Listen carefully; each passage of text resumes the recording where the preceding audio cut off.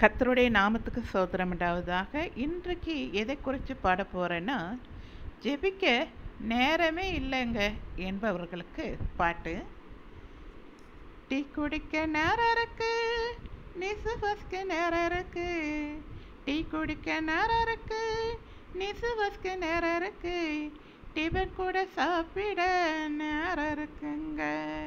ஆனால் தேவனே அதிகம் கூட நேரம் இல்லைங்க.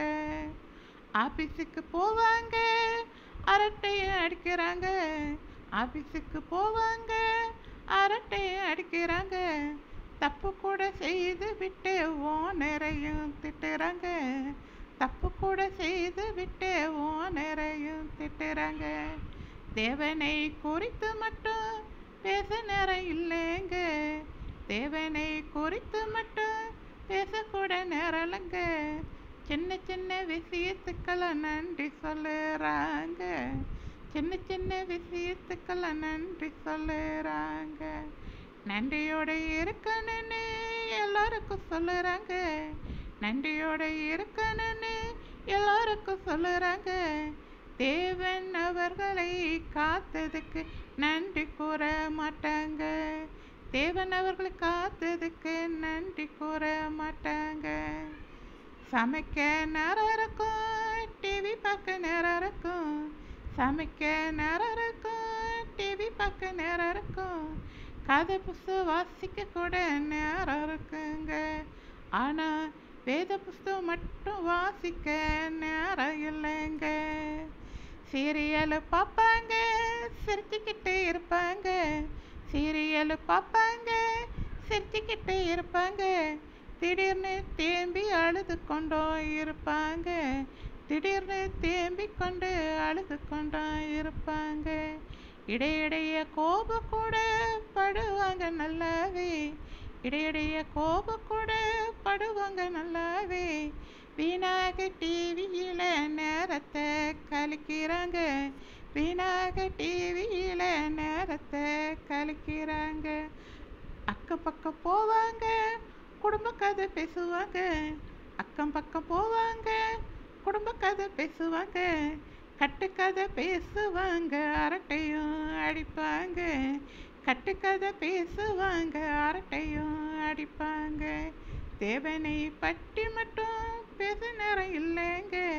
தேவனை பற்றி மட்டும் பேச நேரம் இல்லைங்க. இப்படியெல்லாம் சொல்லி நீங்கள் தப்பிக்க முடியாது. இப்படியெல்லாம் சொல்லி நீங்கள் தப்பிக்க முடியாது. நேரம் பொன் போன்றது. அதை வீணாக்காதீங்க. ஒரு மணி நேரமாவது எனக்காக விழித்திருந்து ஜெபிக்க மாட்டீர்களா என்று ஆண்டவர் சீசர்களிடம் கேட்டார். இன்றைக்கும் உங்களை தெரிந்து கொண்டார். தன்னுடைய பிள்ளைகளாக உங்களிடம் அதே கேள்விதான் கேட்கிறார்.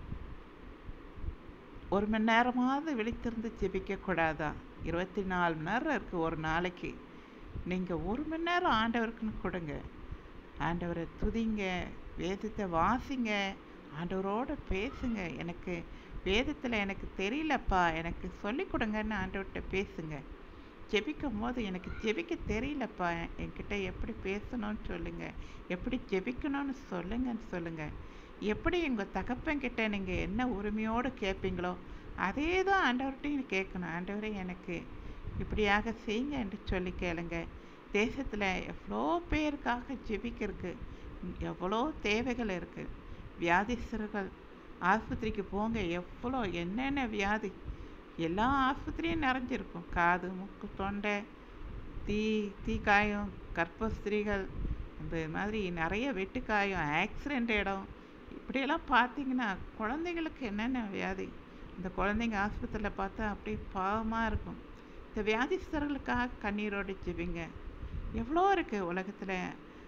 வீணாக கெட்டு போய் திரிகிற சின்ன பிள்ளைங்க வாலை பிள்ளைங்க இவர்களுக்காக மனம் திரும்பணும்னு ஜெபிங்க உங்கள் குடும்பத்துக்காக நீங்கள் அழுங்க.